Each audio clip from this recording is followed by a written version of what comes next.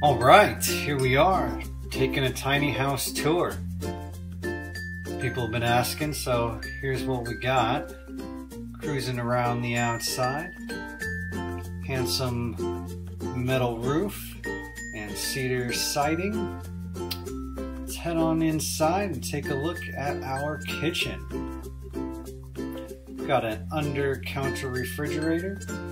We've got a induction stove, cedar butcher block counters.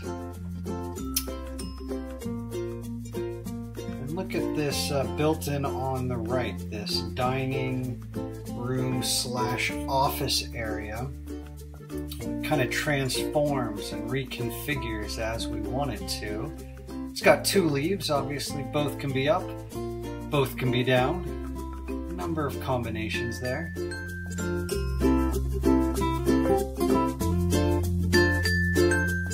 Let's take a look over here at the bedroom area. This is a full-size bed. Comfortably holds a couple. Here is the closet an entertainment unit, lots of shelves, lots of storage supersized drawers under the bed. Each one of those will hold a couple dressers worth of stuff.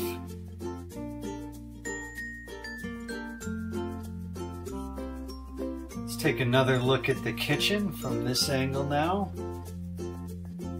Uh, reclaimed redwood is so beautiful for the, the shelves next to the microwave and also the dining desk area. You can see the mini split there on the upper left.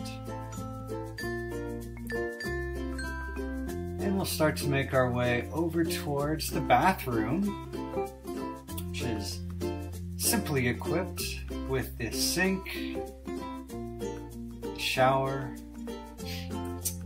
toilet, really nice details with this tile and with the uh, medicine cabinet over above the toilet has a great deal of storage, shelves on either side, and big shelf above.